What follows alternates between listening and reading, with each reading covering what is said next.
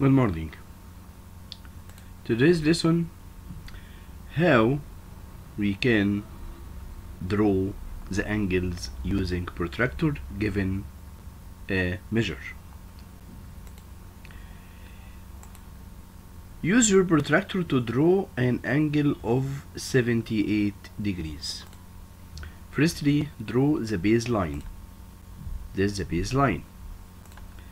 Draw a dot to put the cross point on it. This is the vertex of the angle. And then place the protractor line on the baseline, cross point on the dot. By this way, this is the center of the protractor and this is the zero line. Start measuring from inside degree 78 this 70 and count after it 8 degrees 71 72 73 74 75 76 77 78 this the point of 78 after that remove the protractor and then join the dot to the mark. By this way now you have the angle 78 degrees. Another example. Use your protractor to draw an angle of 120 degrees.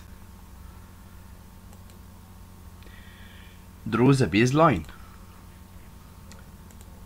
Draw a dot to put the center of the protractor on it. After that, place the protractor line on the baseline and the cross or the center of the uh, protractor on the dot. By this way, use the inside degree 120 inside degree this 120